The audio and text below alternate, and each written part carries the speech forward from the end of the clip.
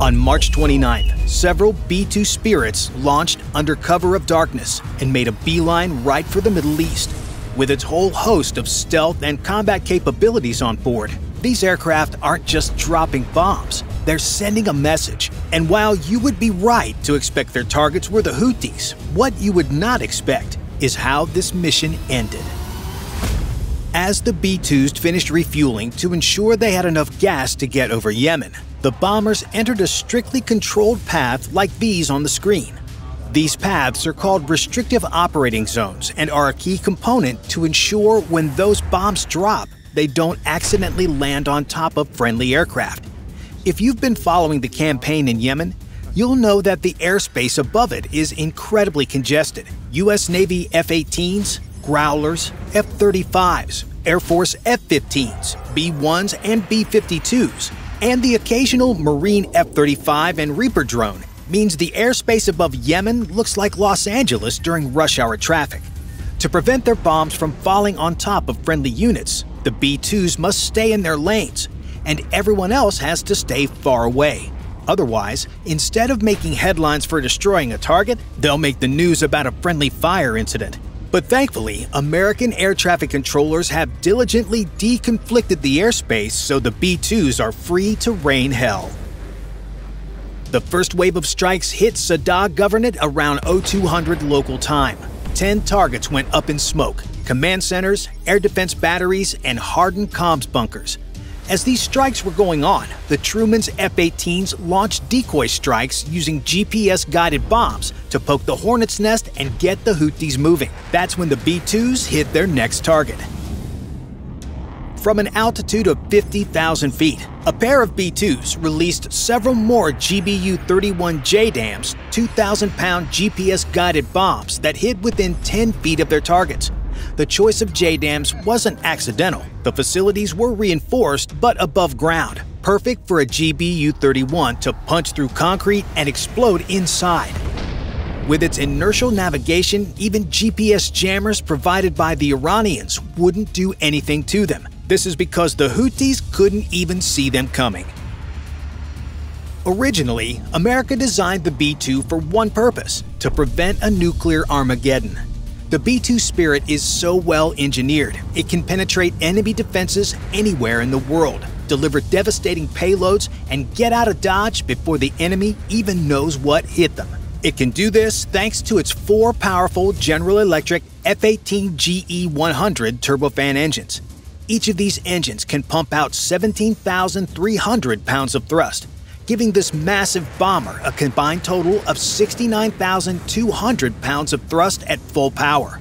With this, the B 2 can cruise at high subsonic speeds that top out around 630 miles per hour, but it can do so at a maximum elevation of 50,000 feet. That puts it well above the reach of most surface to air missile systems, including any the Houthis have in their inventory. But its stealth profile isn't just clever design, it's the result of science meshing with military precision perfectly. In aviation, the radar cross section, or RCS, is how big an aircraft appears on the radar.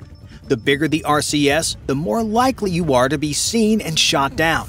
For the bombers on this mission, their radar cross sections are just 0.1 square meters, smaller than a bird. Compared to an F 15, it's about 250 times smaller. Its ability to obtain such a small RCS is primarily due to how it's shaped. If you look at this B 2 in flight, you'll find nothing but smooth, rounded edges. This allows the B 2 to bend radar energy away from the enemy's radars at 60 to 90 degree angles. Because radars need the energy to bounce back to get a return, the radar thinks there's nothing there when, in fact, the B 2 can be barreling right towards the radar. But smooth edges isn't the only tool to deflect enemy radar emissions. It's also something that completely surrounds it that can shield it from any Houthi radar. If you look at the B 2, you'll see that it's covered in black paint. While the black color certainly helps to camouflage it at night, it's what this paint is made up of that's the true secret sauce. For you see, this isn't the kind of paint you can just pick up at your local Sherwin Williams. What covers the B 2 skin is a mixture of highly classified composite materials with specialized iron ball paint. By having these two materials work in conjunction, the B 2 absorbs up to 80% of enemy radar waves. So even if the Houthis could get a return on the B 2, which they can't, the return would be so small that it looked like a bird or a cloud instead of the awesome weapon that it is. But even if Iran or Russia decided to gift the Houthis some of their best air search radars, it would not have helped this morning.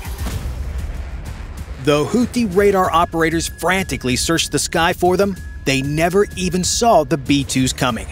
Even if they weren't distracted by the earlier attacks, their radars, likely Soviet era P 18 spoon rest or Iranian supplied Qadir systems, are long range radar systems that operate in what's called the L band. The L band of frequencies refers to radars that operate in the 1 to 2 GHz range. And while they're useful for helping the Houthis spot ships at sea, these systems are useless at spotting stealth aircraft like the B 2. It's like throwing a giant fishing net to catch a needle. Stealth aircraft just slip right through. This is because the B 2 is specifically designed to absorb up to 80% of that directed energy wavelength, and what it doesn't absorb, it scatters at oblique angles. This means Houthi gunners never even get a warning an aircraft was there until bombs start exploding in their positions.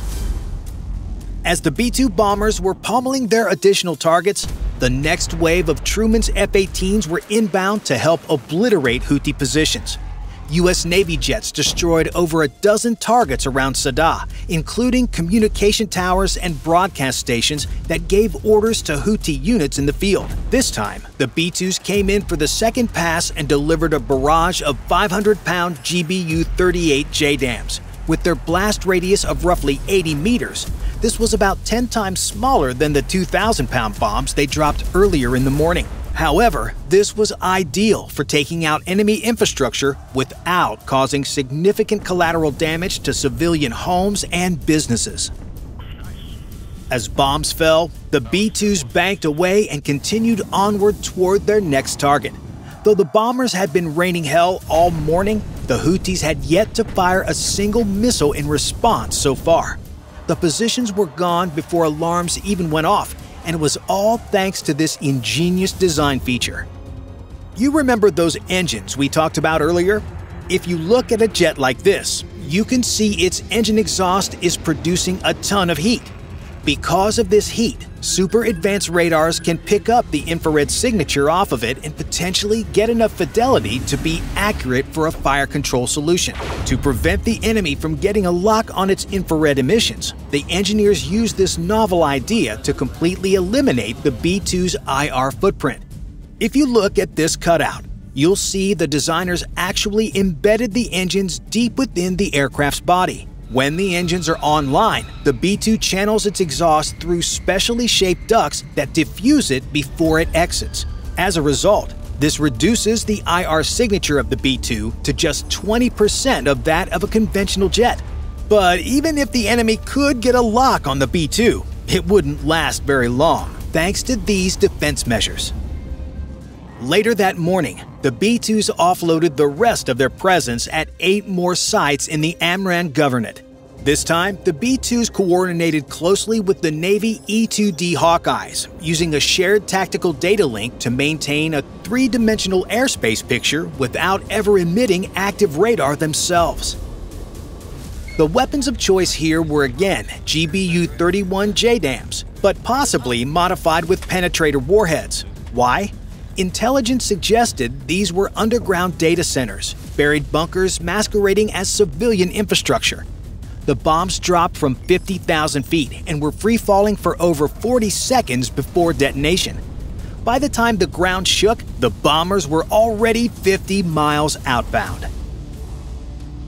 The F 18s never got close. That was by design. The airspace was tightly deconflicted. The B 2s flew in at a steady altitude and speed, while Truman's fighters maintained no fly bubbles 30 miles wide around the target area. At no point were friendly aircraft in danger. This was a synchronized dance, and they landed it with perfect rhythm due to this secret technology. Though you can't see it in this photograph, there are actually laser warning receivers and radar warning receivers that completely line the aircraft skin. These give the B 2 360 degree situational awareness without having to actively emit any radiation the enemy could pick up. In addition to these passive defense measures, the B 2 is fully networked into U.S. combat command and control. It can receive in flight target updates via satellite links, relay mission data through secure UHF, VHF, and HF channels, and tap into the Link 16 tactical data link networks while in flight. It also has a highly classified defensive system that monitors electromagnetic activity across the spectrum. If an enemy radar locks on, the system alerts the crew and suggests evasive action, whether that means shifting altitude, changing heading, or rerouting around enemy air search corridors. And what's even worse for the Houthis is that these beasts still have a lot of hurt left to give. Inside its internal bomb bay, each B 2 can carry up to 40,000 pounds of ordnance loaded into two bomb bays beneath the fuselage. Its potential payloads can include up to 16 2,000 pound JDAMs, 80 500 pound MK 82s, or one 30,000 pound GBU 57 massive ordnance penetrator. In addition to conventional weapons, the B 2 can deploy either the B 61 or B 83 variable yield gravity bombs. But thankfully for the Houthis, the war has not gone nuclear yet. But for now, this is as close to the nuclear option as the Trump administration has without actually crossing that red line. The B 2 bombers finish hitting their secondary targets with what ordnance they have left inside. With their bomb bays now empty, the B 2s knew it was time to head back to base. But instead of turning back around and going back the way they came, the bombers banked right and headed straight for the middle of the Indian Ocean. But what the heck were those two massive bombers going to do in the middle of nowhere? Located here, about 4,000 kilometers southeast of Yemen, is a secret military base called Diego Garcia and has been a mainstay of American power for over 50 years that rarely makes the news. Because of its isolated location, it's perfect to keep any prying eyes away from ship or aircraft departures in a timely fashion. But it doesn't stop all of them. In the days following the March 29 strikes, satellite imagery and aircraft spotters began reporting unusual activity. B 2 Spirits taxiing on runways far from their home base at Whiteman Air Force Base in Missouri. Though these reports are unconfirmed by the Pentagon at the time this video was made, the satellite photo clearly shows six B 2s on the island. This proves the war just changed course. Diego Garcia isn't just any base. It's a forward deployed deep range launch pad designed for long duration strike campaigns. Located roughly 3,000 kilometers from Yemen, it sits within striking distance of the Middle East, East Africa, and parts of Asia. From here, it takes a B 2 bomber roughly 5.5 hours to get to Yemen. By comparison, flying from Missouri to the Middle East is 12 hours one way. That means a standard long range mission from Missouri will take about 24 hours and involve at least four aerial refuelings, since the bombers refuel every six hours in the air. However, Diego Garcia is not a temporary base. With its 12,000 foot runway and hardened shelters, it can support the complete B 2 mission requirements for months at a time. If several B 2s really have moved forward, even temporarily, it means the Pentagon is preparing for sustained precision strikes and not just one off operations. That means more flexibility, higher sortie rates, and less crew fatigue. It also means the US can launch on shorter notice, respond faster to emerging threats, and sustain an op tempo that constrains enemy decision cycles. Politically, basing B 2s on Diego Garcia signals seriousness. The U.S. rarely forward deploys strategic bombers unless the situation is volatile enough to warrant a show of overwhelming force. Doing so without fanfare, without a press release or media coverage, sends an even clearer message. We're already in position and we're not waiting for you to escalate. To the Houthis, it means their infrastructure can be erased at any moment. To Iran, It's a reminder that regional destabilization has strategic costs. And to allies in the region, it shows that the US isn't just flexing power, it's committing it with stealth, speed, and surgical accuracy. If the B 2s are now forward deployed to Diego Garcia, even part time, the conflict just moved into a new phase. One where response time is measured in hours, not days, and where America's enemies no longer have the luxury of guessing when the next strike will come. Bye for now.